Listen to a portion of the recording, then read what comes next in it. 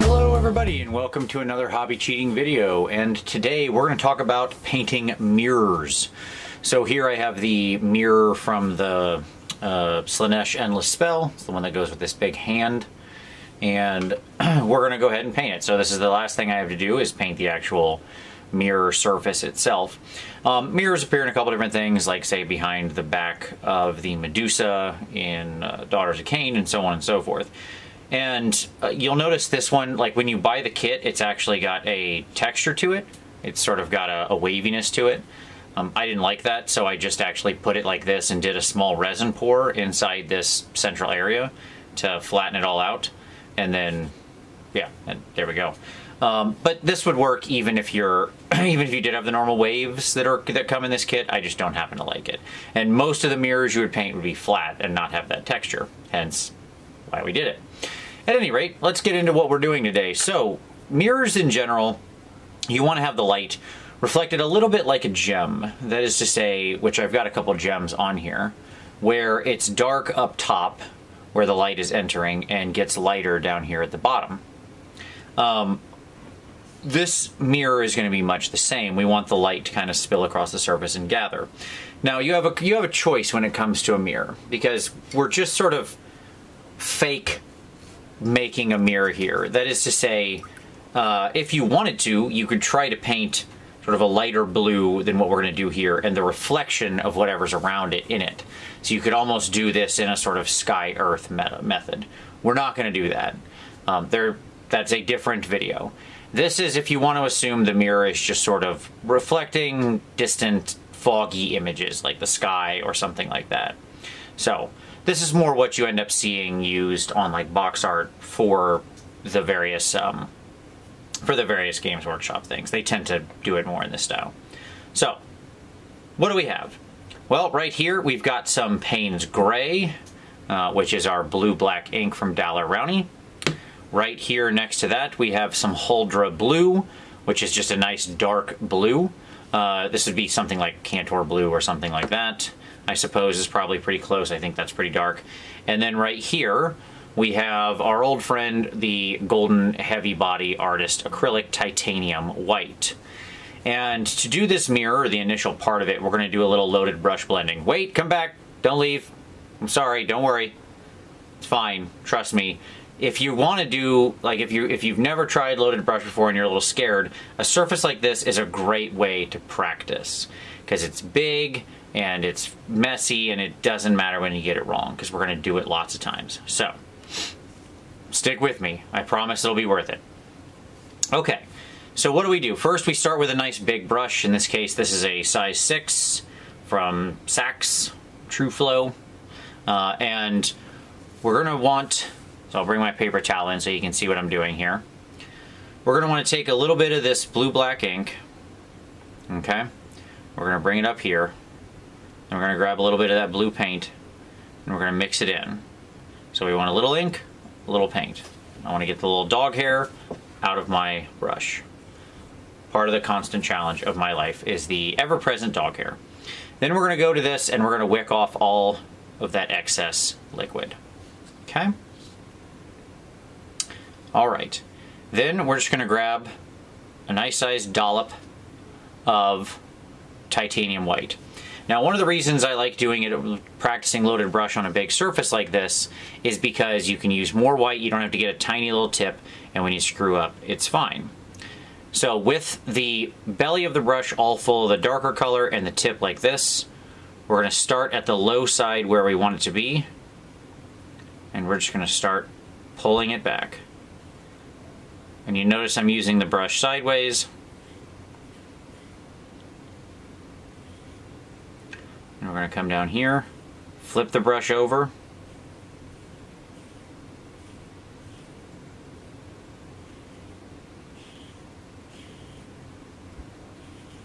Okay. So we get something that looks like that. Nice and ugly, right? And that's fine. Let's refresh our ink and paint mixture. It's supposed to be ugly at this point. We grab another dollop of white. Okay. We set that on there, we go to work again. I can, you notice I'm, the brush is laying at a very low angle. Like you can see the angle that my brush is compared to the, the surface.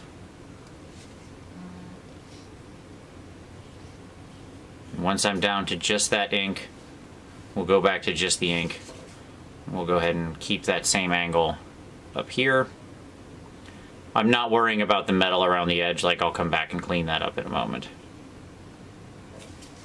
Okay. So now you have a surface that looks like that. Nice and streaky and ugly, brush strokey. And that's fine. No big deal. We don't worry. Refill our brush again. Grab a nice dollop of white. Okay. One more time. Get a little more.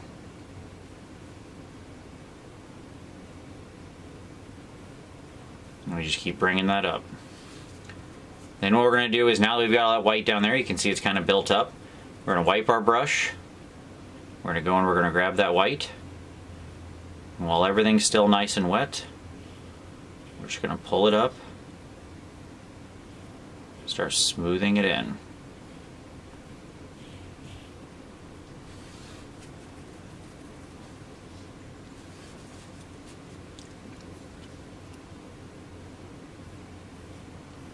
And just start smoothing it in.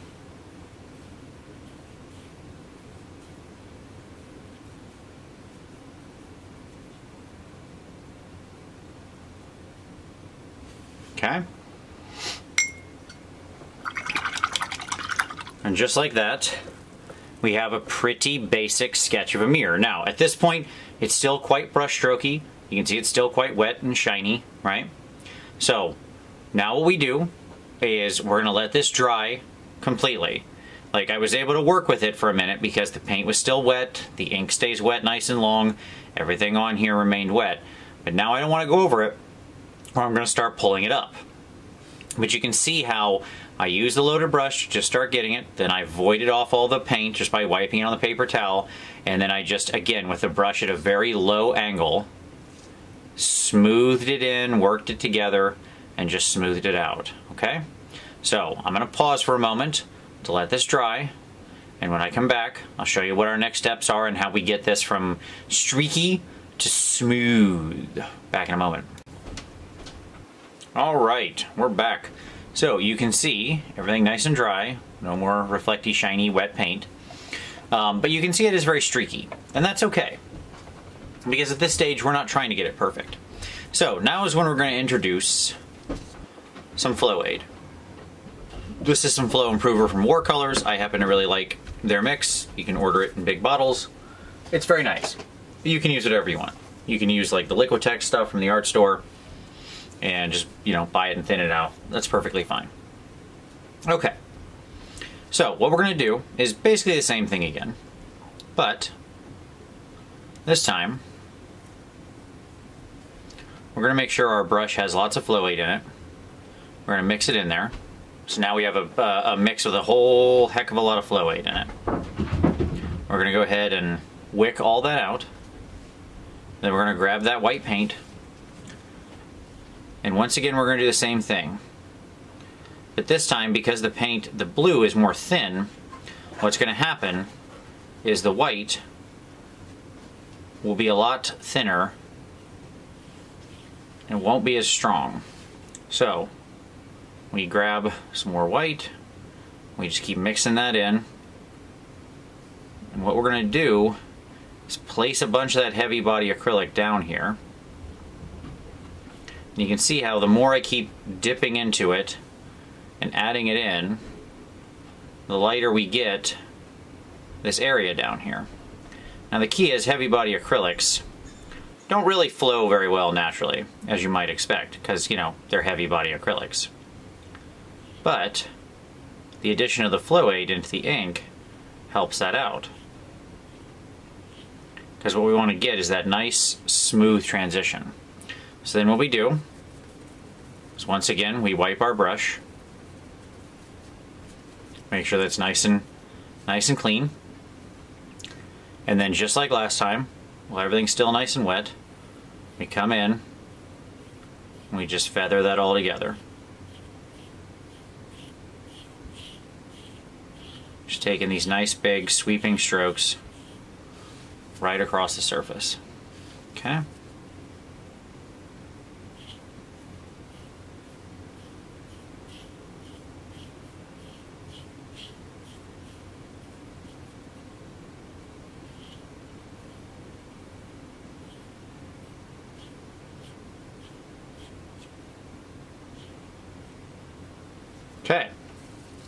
So now you can see we've got that much lighter reflection up there. The other thing we're going to do while we're waiting is we're going to go straight into some of our blue-black ink.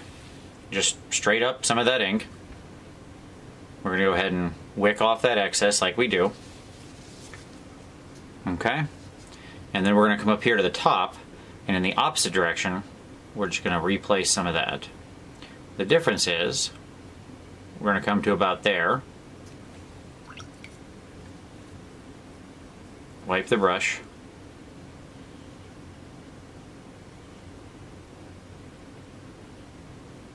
And then just feather that right down into the other side. Okay.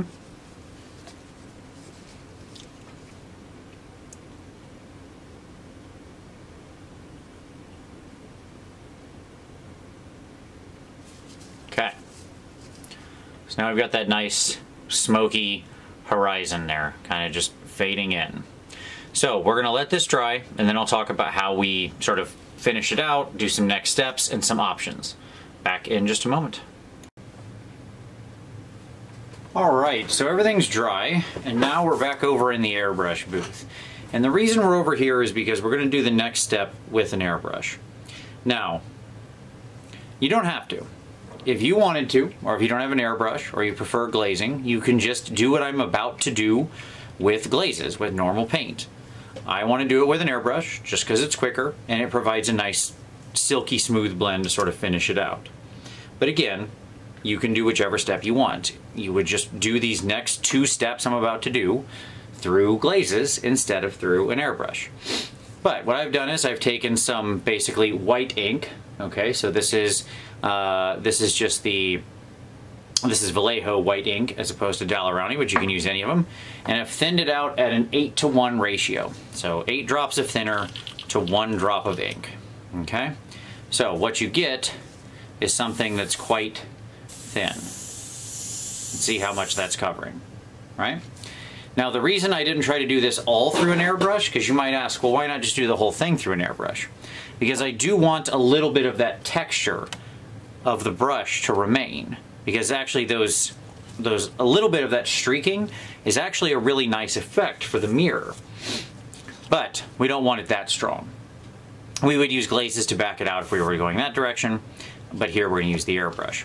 For those asking in advance what's around my mirror, it's the AK Camouflage Elastic Putty for airbrush. It's actually basically just black silly putty, but it's really nice and it's not sticky at all and it's pretty great.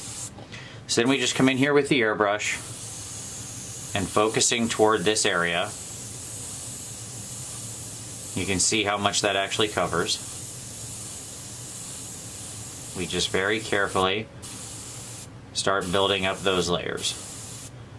We're glazing with the airbrush in the same way we would with a paintbrush.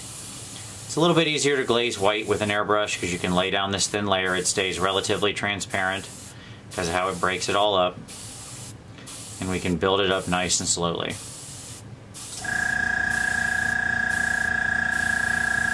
But you can see I'm still relying on part of what's already there to show through.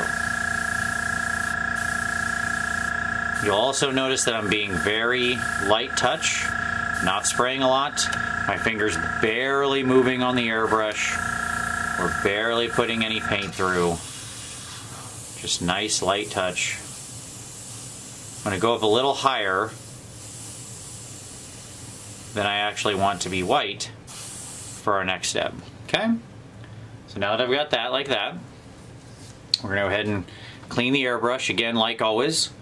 All we do to clean the airbrush is we don't put any extra paint through. We never put the extra paint in here out the front of this. That's just encouraging tip dry. Instead we go straight, fill it up with water, and I have a cup right over here in my airbrush booth. we backfill, we dump the airbrush. So now it's like that. More water. Backfill, dump the airbrush. Third water. Backfill, dump the airbrush. Then we blow the rest out. And bada boom, crystal clear, crystal clean airbrush. Ready to go for the next time. Simple, fast, easy. Okay, so now we're gonna do the same ratio with Payne's Gray. Just about an 8 to 1 ratio, thinner to a drop of the ink. So this is just our Payne's Gray from the previous step.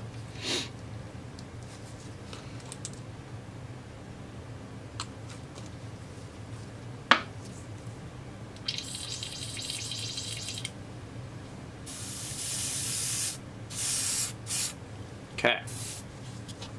Get a nice flow. We do a test on the back of our hand. We never test on the figure. And now we do the same thing, but in reverse. We glaze the darker color up here. And we're going to bring it down slightly over that white we just did.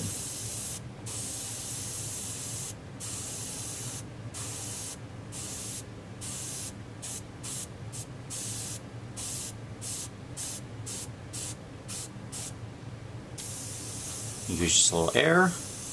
No paint at all right there, just drying it off.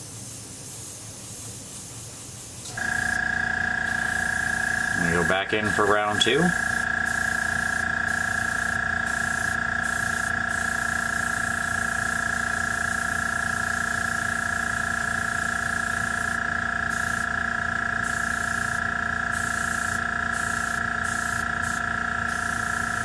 Again, just air right there to dry it off.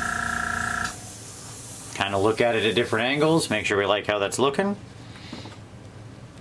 Good. All right, so now we make a decision.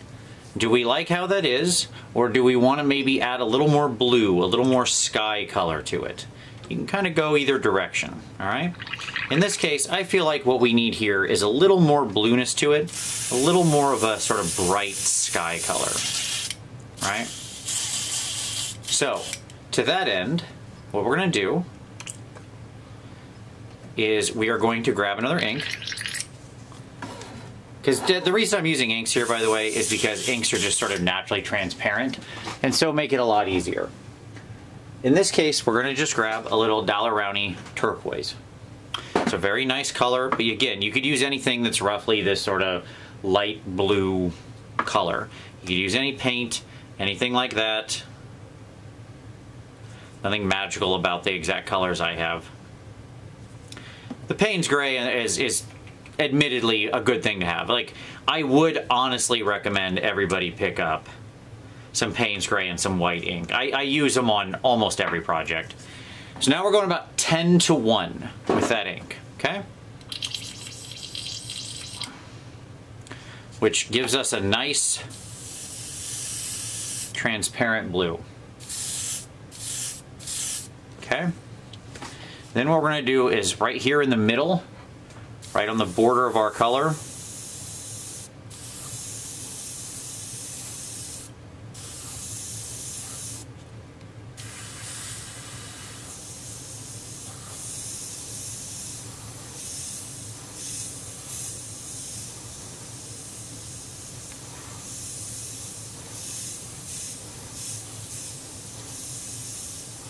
that enriches, you can see how now we have that nice rich blue filter that just adds a little bit to it.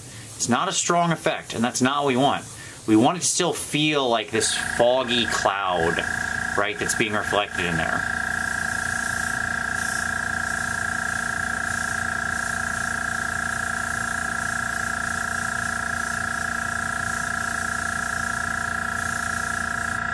Okay.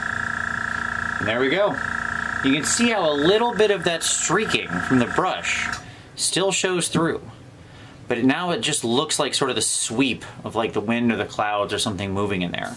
We don't want it to be completely perfect and smooth because if it was, I think the effect is actually lessened.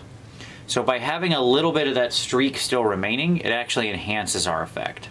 Okay, so that's it for the airbrush. Done our glazes. And uh, now we're gonna go back over to the desk to do a little quick finishing because we gotta add just one more little touch. So back in just a moment. All right, now we're back at the painting desk and you can see mirror looks nice and shiny, reflective. Looks like we've got a nice deep sort of horizon in there like a fog. And you can see a little bit of that texture from the brush is still there. And that's what we want. Like we want a little bit of that still showing there.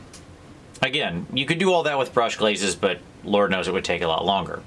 Now, if you want to jump off at this point, perfectly fine. But if you want to add one more little interesting touch to your mirror, then stick around. So I've got these gems, and these gems have told me that the light point is coming from basically this direction. So one of the things we can do is we can add a little bit of a light reflection in our mirror. So in addition to our white heavy body acrylic, I now have some white ink, the same white ink we just used a moment ago. I've mixed that with a little bit of flow improver, and here what I've got is a nice strong white mix that'll be really strong but let me draw really thin lines. The heavy body acrylic makes it so it's very sticky and attaches. The ink makes it so it's flowing and it comes together where I can paint a line like that that's nice and sharp and thin. And what we can do is here in sort of the corner of the mirror, at the same angle as our light reflection is, we can come in and we can put, oh, dried out while I was talking. Okay.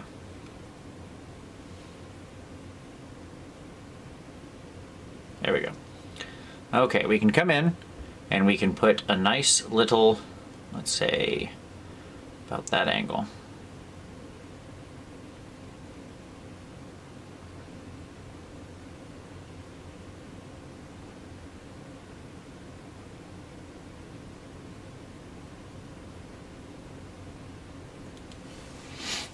And we can catch a little reflection in there. Right? So we use kind of a long line and then a shorter line on a cross hatch from that and then little tinier lines and we create a little star pattern. And there we go. We have a nice little reflection in our mirror. So I'm gonna let that dry and I'm just gonna kind of quickly matte varnish that whole thing so it's nice and sealed in and locked up. And we're good to go. That's how you paint a mirror. Just that easy. Uh, easy I should state, of course, as I just to repeat what I said at the beginning, this is just one way to get a sort of mirror sheen effect. This is kind of re reflecting, you know, almost like a nighttime sky or something like that, or light against darkness, or you know, sort of an infinite reflection. There's a hundred ways to paint mirrors, including just having them be sort of amorphous reflections of what's around them.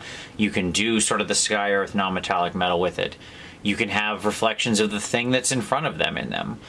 All of that is perfectly valid.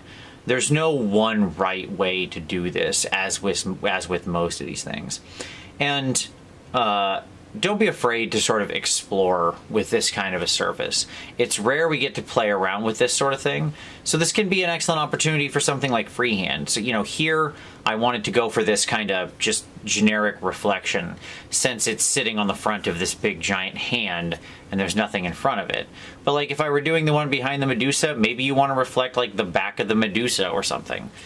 The point is, is that, you know, you can use opportunities like this to explore your own creativity, and it's fine. It, the worst case, if you mess up, oh no, you repaint a flat surface real quick. If you do have an airbrush, it's pretty fast to reset it back to where it was. Even if you don't, just grab some rather opaque paint and go and have a good time. But don't ever be afraid to experiment. So, with that being said, that's how we paint mirrors. If you liked this, give it a like. Uh, subscribe for additional hobby cheating. We have new videos here every Saturday.